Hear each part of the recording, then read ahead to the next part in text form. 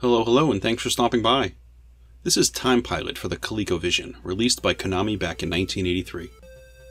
Playing this game from a cartridge on a CollectorVision Phoenix system, which is an FPGA console that uses cartridges. It also uses a regular ColecoVision controller, and you can use a Super Nintendo controller as well. I mention this controller thing because the ColecoVision controller is pretty terrible. I swear it was built to just look cool and just to be different. It's not really very functional, and it's not good for lengthy gameplay. The joystick is really stiff, and the fire buttons hurt my hands after a while. I know it's a 40 year old controller, and maybe it just stiffened over time, but I, I can't imagine it got this tough to play with over time. It just feels horrible to hold. But it does have this number pad thing, and the games do use them. I still think this controller would have been better if these buttons didn't exist, and maybe they put this on the console instead, but whatever. When I play the system, I usually have to use both controllers. The ColecoVision one is important to use for the number pad, and that's how you select the in-game stuff. And a Super Nintendo controller is usually what I use for any sort of comfort. Unfortunately, this is the first game I've played on the ColecoVision that doesn't benefit from the Super Nintendo controller. It's really rough controlling with the D-pad, even rougher than the regular controller. In this one, you really have to swirl the controller around to move your ship. Time Pilot is basically an early shoot 'em up. We're talking early 80s limitations, so you're not going to get what you find in modern shooters. Like massive upgrades, or lots of offensive fire, tons of enemies, that sort of thing. Here it's really kind of a bare bones sort of an affair, but it is a clever enough concept. First, unlike most shooters, it doesn't scroll in any one specific direction. You just sort of roll around in circles. It's an open playing field, really. It's kind of freeing in this regard. You pilot a spaceship, and you're traveling through time trying to rescue fellow pilots while fighting different squadrons of enemies. The enemies, of course, match the era of the level that you're in. First level starts you off in 1910, so you're going to be fighting biplanes. You'll fly around the level, you'll dodge gunfire, look for any pilots that are trying to parachute away, and do your best to shoot down all the other ships. Now, there's no real story here as to why you need to rescue these pilots, or why exactly you need to shoot down all these ships, but, well, there it is. Each level has a boss to defeat, and that boss represents the level, the era that you're in. First level has a dirigible, and if you beat it, it explodes and you move on to the 1940s. In the 40s, you fight World War II fighters and a bomber at the end. As you would imagine, it's more difficult in the first level. The bomber boss, it's neat looking, it makes sense.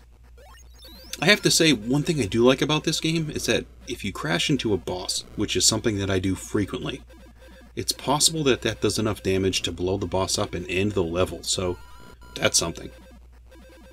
The third level is in the 1970s, and you're going to fight helicopters that fire missiles, and there's going to be a double prop helicopter at the end as the boss. I don't exactly see how helicopters compete with a space jet, but I do understand they needed some sort of a logical enemy from the 70s, and I guess a helicopter is reasonable. They sort of are slower than other enemies, I think, but they do seem to dodge better. And this particular level, I'm not a fan of the color scheme. It's a little confusing. I find myself losing track of some of the helicopters and their fire, of course.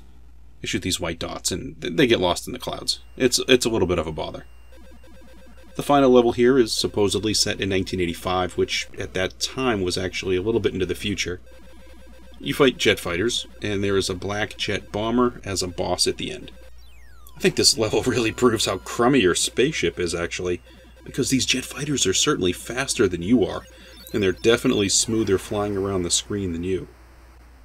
I guess I would have expected that your amazing time spaceship would have had more horsepower behind it or maybe better offensive weapons. You spit out these little dots from a cannon at the front of your ship. It's really bland. I feel like they could have done more with that. This particular game offers four levels, but the arcade version of this offers five. You also get a 2001 level. I'm going to assume that this game ran into some sort of a storage limitation on the cartridge. This was something that happened frequently with this era of games, storage on chips was actually pretty expensive to manufacture. But who knows? I'm just guessing. I feel like this one has all the basic parts of a fun game, but the handling is what holds it back. Yes, you get explosions when you defeat bosses, and you get decent sound effects. These definitely eclipse the Atari 2600. You also get a jingle every now and again thrown in, but all of this is kind of lost on me if my hands start hurting and I can't control this ship correctly. It's just something that doesn't handle very well. I find myself flying into enemies unnecessarily, and it's tough making the ship do exactly what I want it to do. Also, sometimes I press the fire button and I don't seem to get a steady stream of gunfire.